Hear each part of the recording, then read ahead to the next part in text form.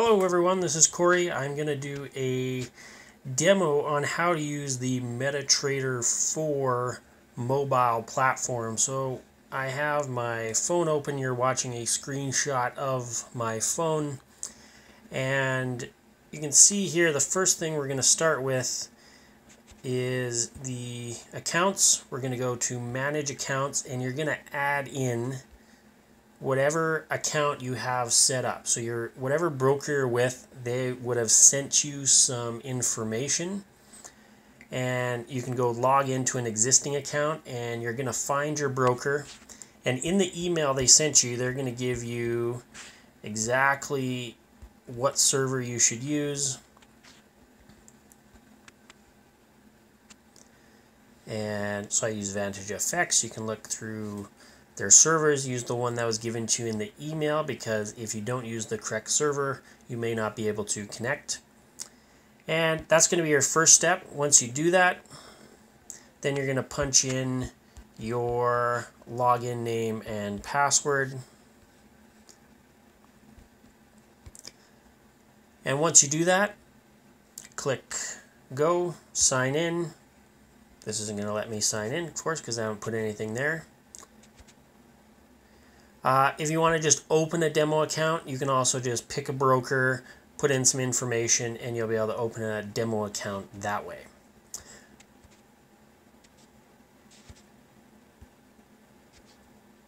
So going to let me get into that little corner.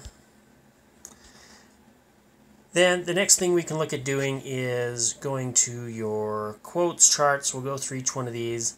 Uh, economic calendar is just going to give you the events that are coming out for the day. News is going to give you updated news feeds on whatever's happening during the day in various Forex pairs.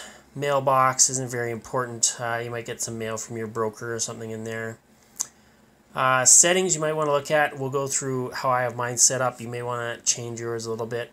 History is going to show you what your balance is. So this is just a demo account. I decided to put 10,000 demo dollars in there. So that's all that's happened in there. So the history is just uh, what has happened. We'll do a trade.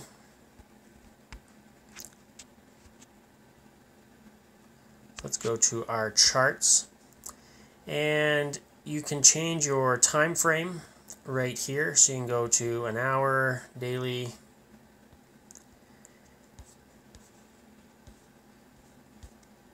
and that's how you can adjust that. You can switch the currency pair by clicking on this. Now this list is just going to have a few preloaded in it. You can uh, add to it by going to your quotes and you can add in different currency pairs that you want. So if you want the Euro CAD in there and the Euro NAS, you can add those in. And now those will show up on your list. Then if you go back to your charts, you should have now a few more options. There you have the Euro CAD, you could pull that one up If you want to add indicators, that little F symbol is where you can find indicators. There's not a ton on the mobile trading platform, but likely more than you need. I do not actually trade on the mobile. It's more for just checking how trades are doing. I do all my analysis actually on the computer. If you want a crosshair to see what different prices were at different times, just hit that button. This is your market execution. So if you want to make a trade here, maybe let's drop down to like a one minute chart or something. And we're at the top of a little range. Let's say we just wanted to sell. We're going to go market execution. Here's where you'd put your stop loss. So let's say we wanted to put it at 1.56.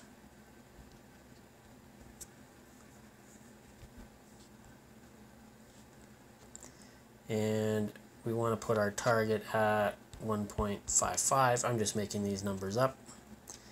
And here's where you put in how much you actually want to trade. So if you just want to play trade um,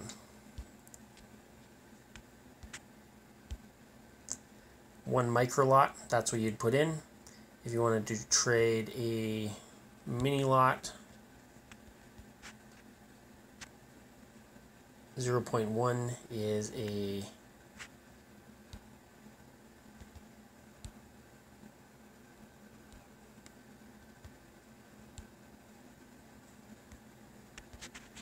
there so that'd be a standard lot. That'd be $10 a pip. And we just want to do a micro lot. That's what we do. And let's say we want to sell market. So now that trade is open shows me as offside 20 cents. Now remember you can go to your quote see how the price is doing you can go to your chart see how the price is doing. If you want to see how your actual trade is doing you go to the trade tab and you'll be able to see all your open trades there. Now if you want to make an adjustment to this I'll show you what I did there. You can slide this over on a trade and we're going to click the edit.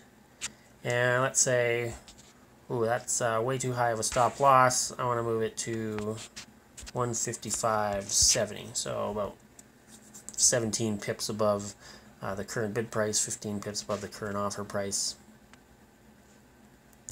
And we're going to hit modify. Now and we want to maybe adjust our target price 155 let's go 30 and again I'm just making these up as I go.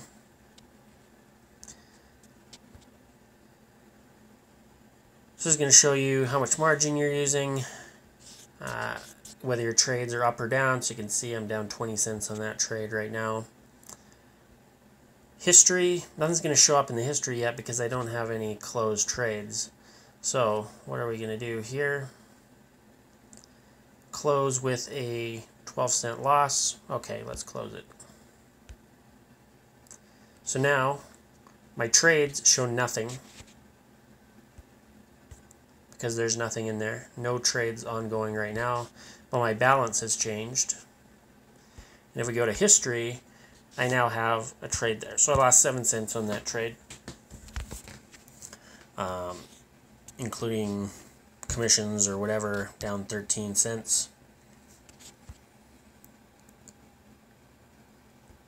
And that is pretty much how you would trade. You can pull up, as I mentioned, you can go into your quotes, put in any currency pairs that you want to be able to see. Then you can go to your charts, look at them on whatever time frame you trade on. Then you can decide if you want to trade from there or alternatively and go to trade. Hit this button order or you can hit that button. You can change the currency pair within here. You can change the order type. So if you wanted to buy limits so you wanted to buy the price uh, below where it's trading at right now let's say it's trading at it's trading the bid price is 155.51. Let's say you wanted to buy at, if it goes down to 155 even, or let's say 155.50, three pips away. You could set your stop loss in there, maybe 155.40. Set your target price 155.70. expiration, good till cancelled. And let's see if that order gets placed. So that order is placed, and it's just sitting there. You can see it's got a little green thing beside it. And if you want to, you can change that, or if you want to see the chart of it, you can go there as well.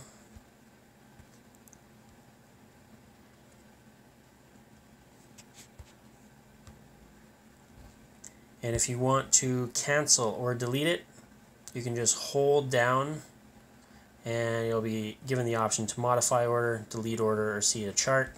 Let's say we want to delete it, then you would just delete it. So that is basically the simple functions of everything that you can do on the MetaTrader 4 app. Uh, you have the EuroCAD. Uh, now that trade that we just canceled is going to show up in your history. News, no news. I think I have my settings uh, blocking news because uh, I don't really use it a lot. And that's how I use it. So fairly simple to lose, fairly straightforward. I don't trade off this, as I mentioned. Not a lot of indicators. And also I just find it hard to see the big picture on here, zooming in and out. So I prefer to do my analysis on my desktop when I got my big charts. And then the only time I use this is Uh, if I need to check my trades quickly or I want to get an update on how they're doing. This is what I'll use. And to do that, you can just go into your trade tab and see how everything's doing. So I hope that helps you out. And in the meantime, happy trading.